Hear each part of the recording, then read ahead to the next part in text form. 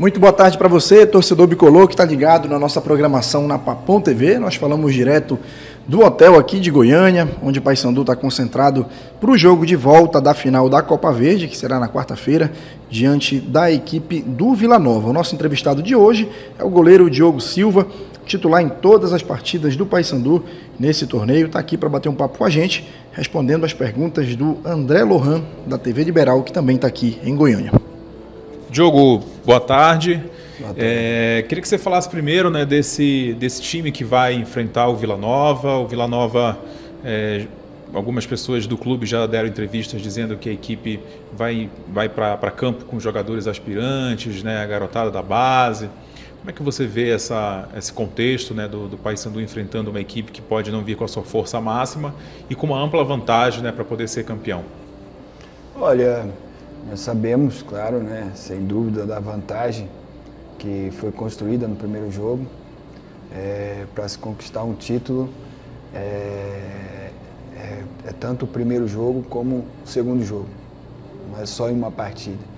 Então, se for da vontade de Deus, nós conquistarmos esse título foi porque a gente já começou a construir ele desde Belém, né?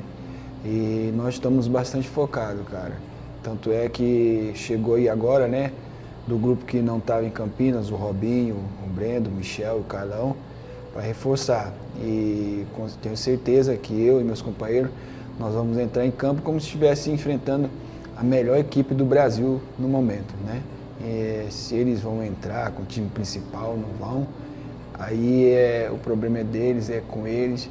Nós temos que entrar ali ligado, focado como se fosse enfrentar a melhor equipe do Brasil hoje, para a gente poder sair daqui com a conquista desse título, se Deus quiser. É, a vantagem é muito grande, né? foi construída em Belém. E qual a estratégia do Paysandu para fazer a manutenção desse resultado e conquistar o título? Não mudar, né? ser, ser o que nós estamos sendo desde o início do ano. Né? É, é muito difícil as equipes ter uma identidade conseguir chegar a esse nível de ter uma identidade de jogo. E o Paysandu, desde o início, graças a Deus, já tem uma identidade. Então é manter essa identidade, fazer o nosso jogo, concentrar, focar nas nossas ações, é, no que, que a gente tem que fazer, nos movimentos que a gente tem que fazer, para depois, no final do jogo, se Deus quiser, a gente poder comemorar esse título. É, qual a importância desses quatro jogadores né, que estão chegando para reforçar a equipe? Né? O, o, o Hélio dos Anjos convocou o Brendo, o Carlão, o Michel Macedo e o próprio Robinho. Qual a importância desses jogadores para essa final agora? Ah, é muito importante, né? O Paysandu ele tem uma identidade, né? desde o início do, do ano e é muito difícil as equipes conseguir ter uma identidade. Nós temos a identidade, nós sabemos como jogar, nós sabemos o nosso movimento, nossas ações. E o Paysandu ele busca sempre contar com os atletas que estão os melhores para a próxima partida. Então a importância né, desses quatro que estão chegando, eles estão nesse nível que são os melhores que nós temos para o jogo. A comissão técnica está fazendo uma espécie de revezamento, né? Você joga a Copa Verde, né? E o, o, o, o Matheus tem jogado né, a Série B, né, as outras competições. Em tese, essa última partida né, da Copa Verde, né? E você, como vê agora, né, essa, essa necessidade né, de, de, de continuar jogando, né? Você de repente assumir a titularidade? Como é que vai ser isso, né, para depois da Copa Verde? Não, é tranquilo, né?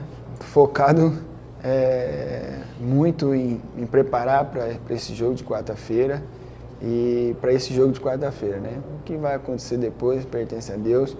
A gente está tranquilo, cabeça boa, para poder seguir trabalhando, poder seguir ajudar o Pai Sandu a conquistar os seus objetivos. Bom, você é um cara que gosta de música, você toca algum instrumento?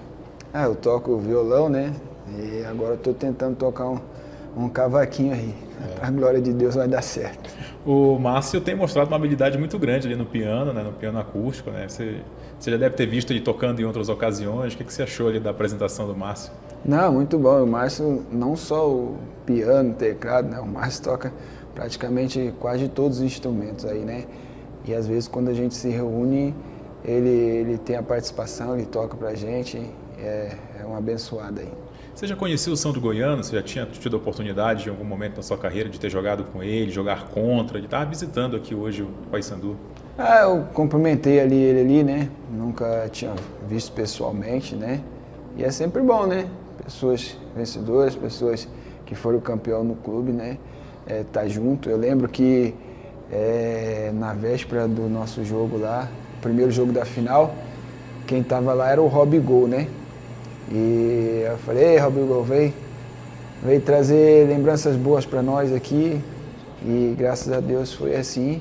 É, conquistamos a vitória na primeira partida e espero que o Sandro Goiano também venha trazer lembranças boas e energia positiva para nós para a gente finalizar, né, eu perguntei do Sandro porque o Sandro foi né, ídolo no Paysandu né, e você teve uma, uma importância muito grande no, nessa Copa Verde, né, você foi decisivo né, nas partidas contra o Remo, na classificação da equipe, na partida agora de ida é, também fez defesas difíceis, defesas importantes. Como é que você avalia né, o seu desempenho nessa Copa Verde e pensando né, também, claro, em construir a sua história aqui no Paysandu? Olha, eu vim para cá com esse pensamento, com esse objetivo, né? De entrar para a história do clube, né? Positivamente, assim como foi nas outras, outras equipes que eu passei. E eu estou muito tranquilo quanto a isso, né? Se for da vontade de Deus, é, de eu chegar né, a esse, esse patamar, chegar a esse objetivo, é, eu vou ser muito feliz, muito realizado, porque o Paysandu é uma equipe muito grande no país, né? Uma camisa muito pesada, muito reconhecida. Eu falo porque, como você está falando aí dos ídolos, né? Sandro Goiana, como eu acabei de citar aqui, Rob Gol, tem o próprio Ronaldo, né? E outros, o Van Dijk, que está conosco no dia a dia. É, eu conheci a história deles longe daqui, né? E é engraçado, porque quando você abre uma página de esporte, é, aparece o Paysandu, né? Isso mostra a grandeza do Paysandu. E é como eu já falei pro pessoal, nós estamos jogando num time que é acostumado a ser campeão. Então, a gente, nós estamos jogando num clube que é acostumado a ser campeão. Então, para se fazer história, para entrar na história do clube, tem que ganhar, tem que conquistar título. Senão, vai ser só mais um que passou. E é isso que eu não quero ser. Tá certo. Obrigado, Diogo Silva. Obrigado, André Lohan também. E a você, torcedor do Colô, que acompanhou essa entrevista aqui no nosso canal. Amanhã a gente volta com o último material de treino do Paysandu, tudo sobre esses preparativos finais para a partida contra a equipe do Vila Nova. O treino de hoje e amanhã também, os dois treinos serão no mesmo local, no centro de treinamento do Atlético Goianiense. Inscreva-se na Papão TV, ative o sino das notificações e fique por dentro de tudo o que acontece aqui no maior campeão da Amazônia. Uma boa tarde a todos.